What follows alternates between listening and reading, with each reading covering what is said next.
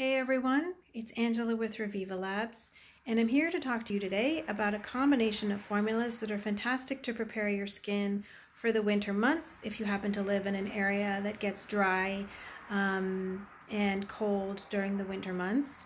So the first is our Eye Concentrate. Um, this is a really wonderful, very light serum-like formula. Um, it absorbs really, really easily.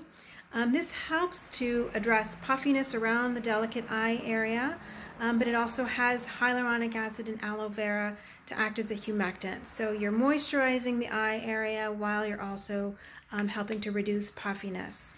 And then in combination with our ultra rich, ultra light moisturizer with vitamin C, um, this gives your skin a really wonderful boost of moisture without um, leaving your skin greasy at all um, I find that it's just a really beautiful, um, really well absorbed formula. I've said it before and I will say it again. I don't know how they do it, but they also always have these um, rich formulas that are very emollient, that don't leave your skin greasy, that absorb really, really well. Um, so this has uh, vitamin C to help brighten your skin, help to heal and protect from environmental damage, um, help to synthesize um, collagen, which is great for um, uh, uh, firmness and giving your skin a nice even tone um, while it's also moisturizing and locking in moisture to help to protect your skin from the cold winter months.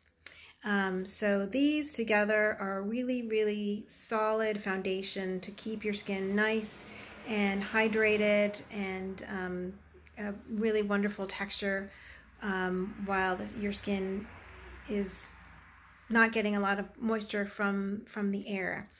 So if you'd like to learn more about these or any of our other formulas, you can go to revivalabs.com and be sure to sign up for one of our upcoming webinars under the events um, tab in the About menu. Um, and there you can sign up for one of our webinars and learn more about any of our formulas, get some samples, get some coupons, all that good stuff. All right, so until next time, take good care.